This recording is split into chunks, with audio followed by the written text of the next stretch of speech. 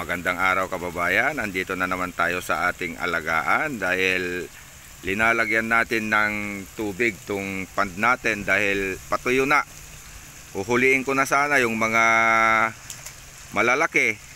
Pero nakikita ko pag nagpakain ako, mas marami na yung mga anak nila na kasilaki ng silalaki ng daliri ng paa ang kanilang ulo kaya napag uh, desisyonan ko na lang na dagdagan at ah, linisin itong pond at alagaan yung mga maliliit na anak nila. Dadagdagan natin tin tubig at saka itapon yung madumi niyang tubig. Palalampasin natin sa drainage niya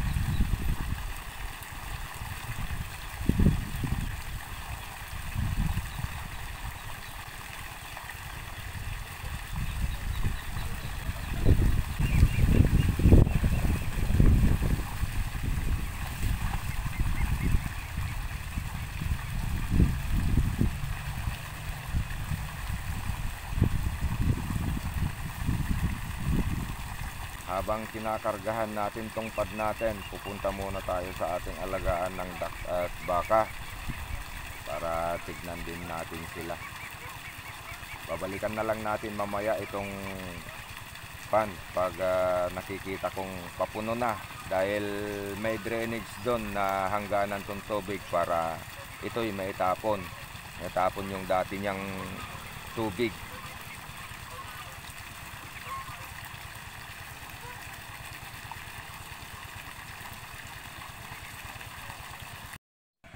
Ito magluluto tayo ng lugaw para sa ating mga baka na maliliit. Yan. Kasi isasanay natin silang kumain ng ah, linuto. Yung lugaw muna, tapos pag medyo nasanay na, dagdagan ng darak o kaya pigs. Tapos pag okay na, dagdagan ulit yung binugbog na tawag namin, yung pagkain ng baboy na damo na naluluto.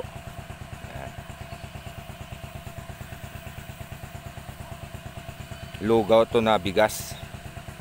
Pwede rin yung lugaw na mais. Para mabawi agad nila yung pagod nila nung matagal na biyahe nila. Isasanay na natin sila sa ganitong pagkain. Kasi meron yung time na walang makuhang damo.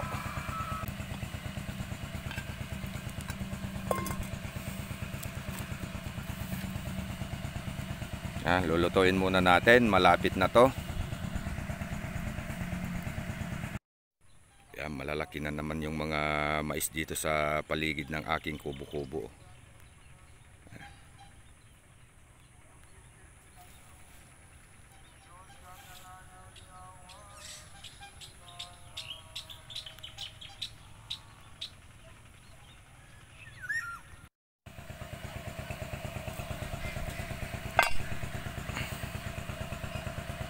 Yan, luto na.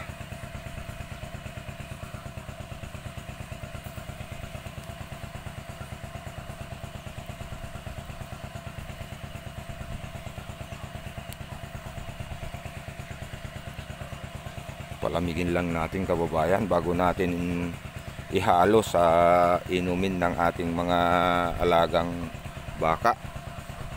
Sana masanay ko sila nakakain ng linutong damo. Ang mga binugbog tawag namin sa Ilocano. Okay na yan. Palamigin lang natin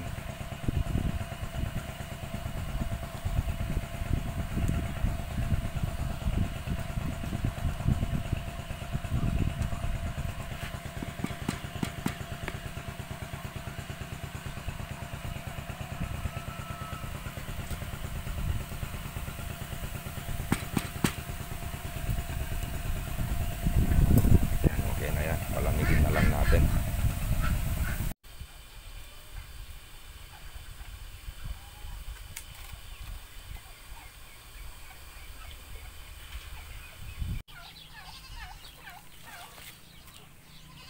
Malamig na. Ito yung tetemplahin natin tong ipapakain natin sa baka natin. Papainom natin para masanay sila sa hindi puro damo. Lagyan natin ng kunting feeds na, para baka. Ah, kunti lang. Saka lagyan natin ng lugaw. Mainit. Mainit pa. Pero okay lang yan.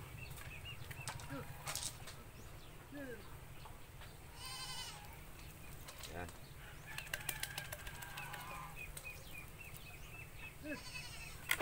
Lagyan natin ng tubig.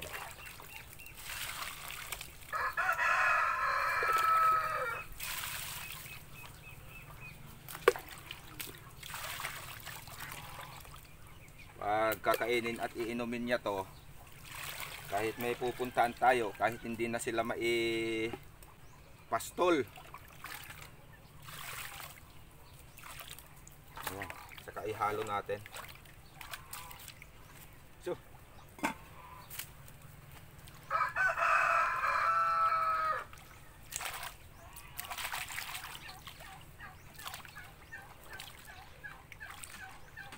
Medyo may init pa pero okay na. Ihalo natin maigi. Dahil meron yung baka na ayaw inumin pag may ganito. Tubig lang ang gusto. Pero isasanay natin ang mga baka na kakain ng ganito at iinom. Ang pagsasanay yun, painitan muna natin, pauhawan natin ng konti dahil meron yung baka na tubig lang ang gustong inumin. Pero pag nasanay na natin na iinom ng ganito, ah, dadagdagan ulit natin ng darak sa susunod. Kasi yung mga ganyan pang edad, 6 to 7 months na baka, hindi pa maasyadong maganda yung maraming darak na kinakain. Kaya ito muna, lugaw. Pero pag nasanay yan, mas maganda pa yung tinatawag namin na binugbog. Iluluto natin yung damo at iyon ang ihalo natin dito. Pag ah, nasanay nat natin doon sa binugbog, yung linulutong damo, napakaganda yon na matuto yung mga bakang ganun.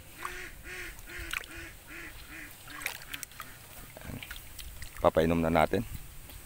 Dadalhin na lang natin doon sa bukid para hindi na natin sila kukunin dito sa kubo.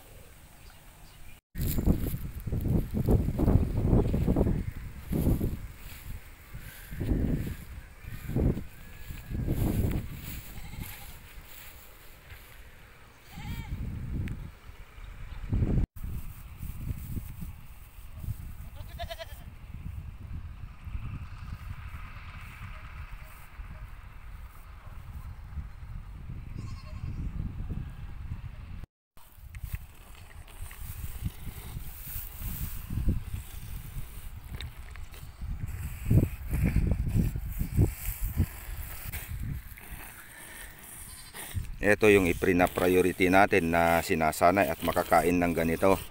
Dahil ito yung naibaba nun na nakahiga, yung hindi makatayo. Kaya ito yung ipri na priority natin na pinapakain ng ganito para mabawi niya agad yung kanyang katawan.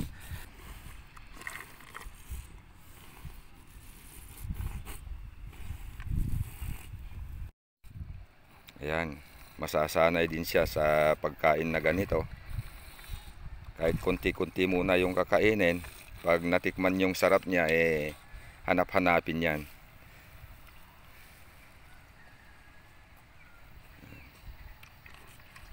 Okay na.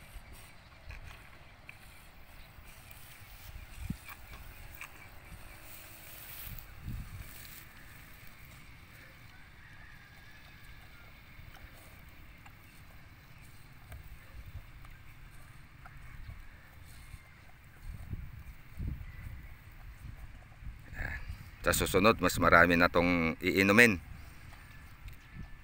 at kakainin. O kaya natinikman niya. Yan, binabalik-balikan niya.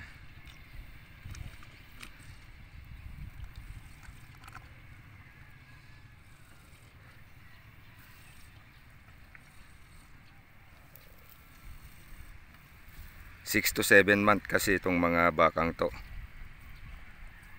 maganda pang halagaan palakihin. Yan punta naman tayo sa iba. Pero bibigyan muna natin siya ng tubig. Iinom pa rin yan dahil hindi pa sanay sa ganyan. Yan, iinom pa rin. Hindi pa kasi sanay sa ginawa natin. Pero okay yan. Pag masasanay iinom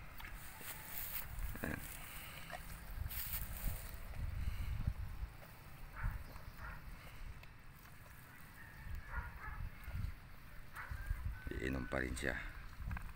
Yan.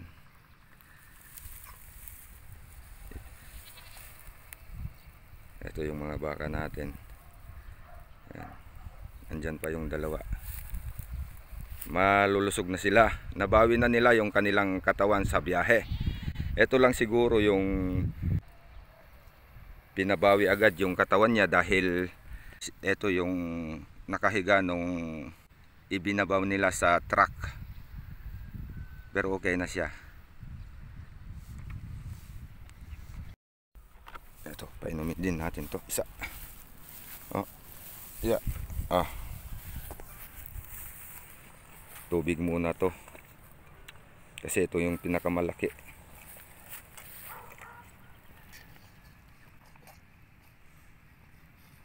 Pare-parehas ang edad mga to. 6 to 7 months kailangan din kasi nilang uminom kasi hindi natin iniuwi to. Dito lang sila sa bukid.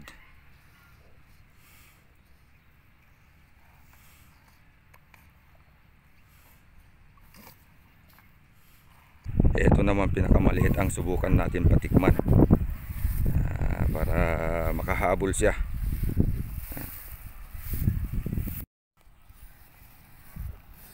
Yan, iinom siya.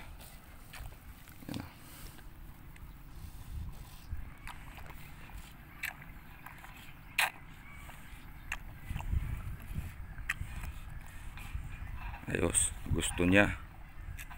Mabilis kasi tataba yung mga baka na marunong kumain ng ganito. Na lugaw at saka feeds at saka binugbog na rin. Kasi kahit hindi mo na siya ipapastol eh gusto naman niyang kumain ng ganito, pwedeng pwede. Yan, ito yung pinakamaliit natin na nabili.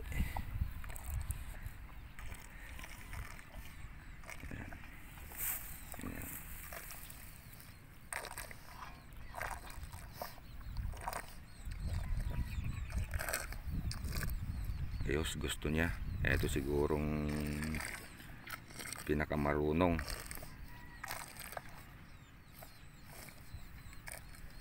Ang importante masasanay sila. Ayan, gusto pa yung laman.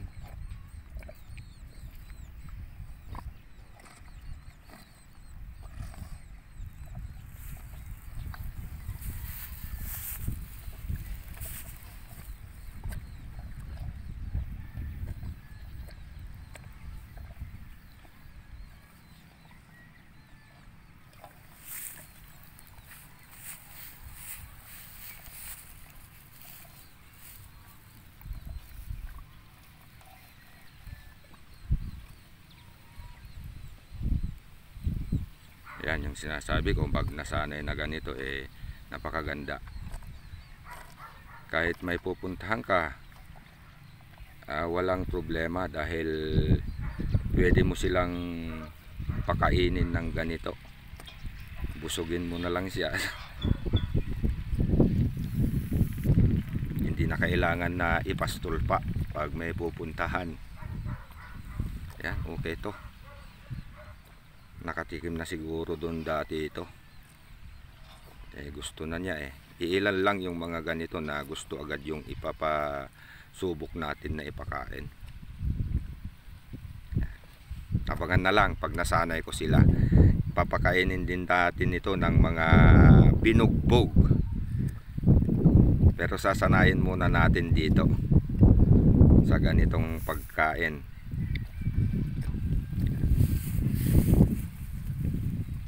ito yung pinakamaliit.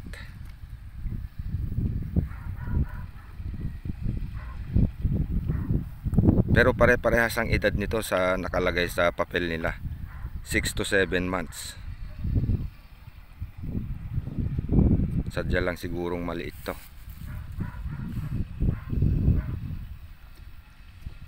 Ayos gusto niya yung kwan oh.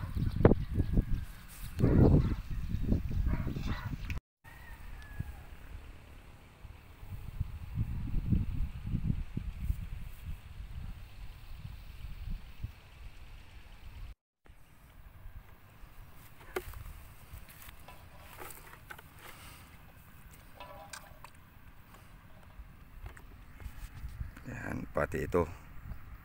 Tinikman niya.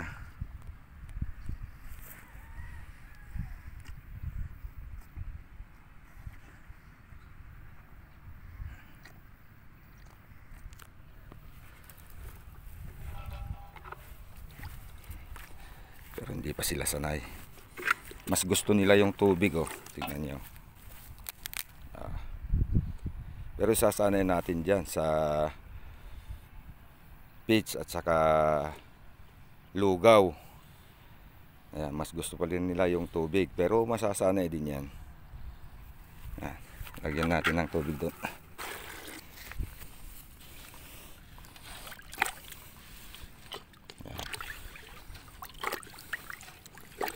Ilinayo ko muna yung tubig para ito yung inumin.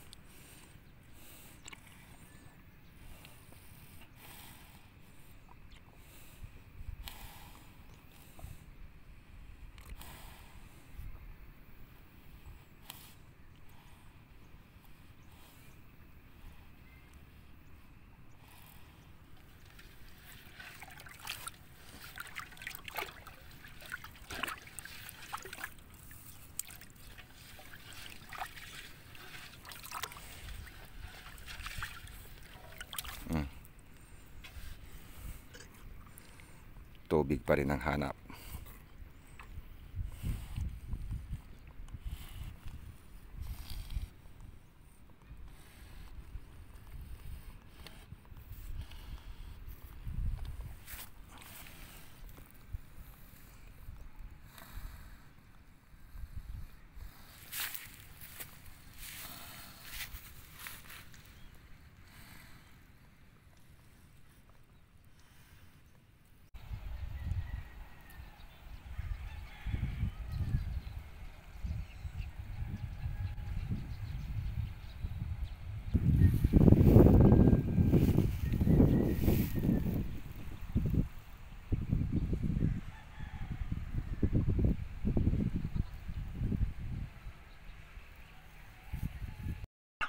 Update naman natin kababayan yung mga alaga natin ngayon na papisa nating sisiw, mga pabo, pa, manok at saka muskubi. Ayan. Ito yung mga sisiw natin sa manok at saka pabo.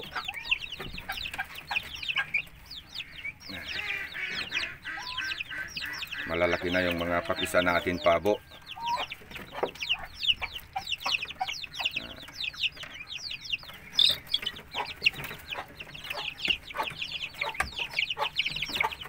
Sana lumaki rin ang mga ito.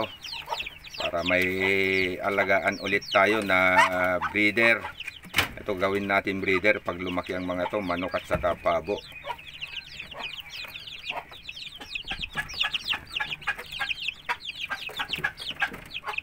Nakabantay pa yung nanay nung manok. Ano? Maingay. Saka pabo. Yan. Kahit nakakulong tong mga anak nila binabantayan pa rin. Ah.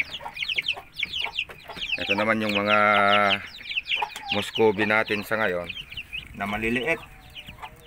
Ah, medyo marami-rami din to dahil tatlong inahin to. Ito medyo madumi na tong gayame. Papalitan ko na lang bukas.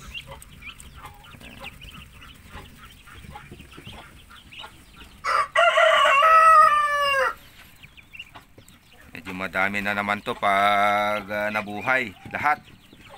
Medyo malalaki na rin. Yung unang namisa, yun yung mga mas malaki. Yan yung mga hinuli ko sa labas, yung mga mas maliit.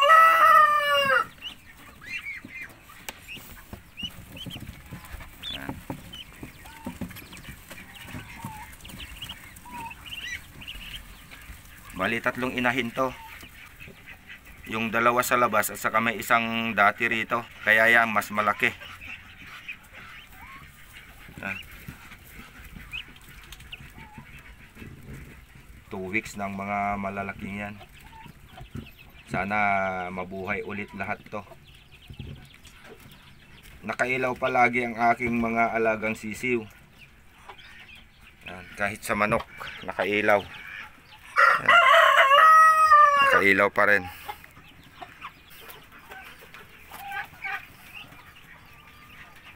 dahil medyo malamig dito iniilawan ko pa rin kahit may dalawang linggo pataas na sila.